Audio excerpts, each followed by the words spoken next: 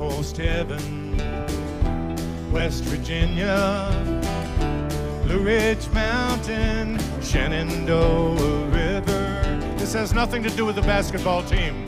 Life is old there, older than the trees, younger than the mountains, growing like a breeze. Country roads,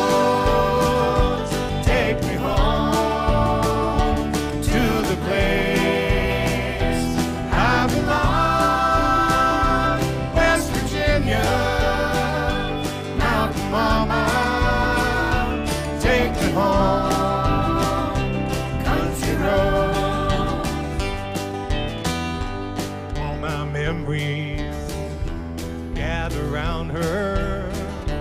Miner's lady, stranger to blue water. Dark and dusty, painted on the sky. Misty taste of moonshine, teardrop in my eye. Country road, take me home,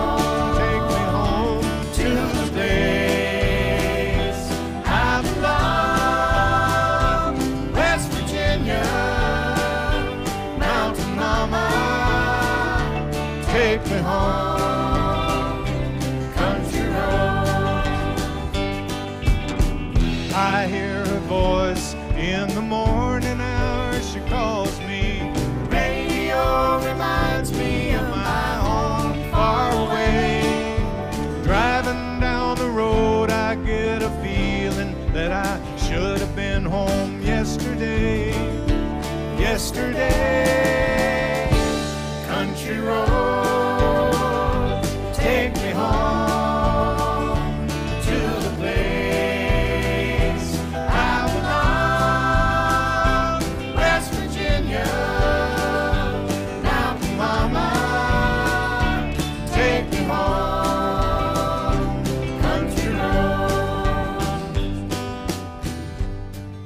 Okay, so this is uh, take you back to 1970, actually, which is kind of uh, when the 60s really happened.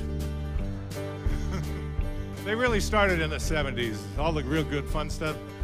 And um, we were playing around town, a place called Emergency, a place called Tammany Hall. And there used to be this commune of hippies that came to visit us. And they'd come and watch us, and they were from West Virginia. And the women all wore these peasant dresses, and the guys all had long hair, and they brought their dog with them, and he'd sit in front all nice, and they'd come and follow us wherever we were, and we'd we'd um, we'd play for them, and they always showed up. And I was writing this song about West Virginia, but since I was from Springfield, Massachusetts, and I'd never been there, I didn't know many things about it. So I thought these guys must know about West Virginia. So they made their way into the song. Plus, one of the guys was sending us so- sort of drawings of life on the commune. So here's that original second verse. In the foothills, hiding from the clouds, pink and purple, West Virginia farmhouse. Naked ladies, men who look like Christ, and a dog named Poncho nibbling on the rice. Country roads,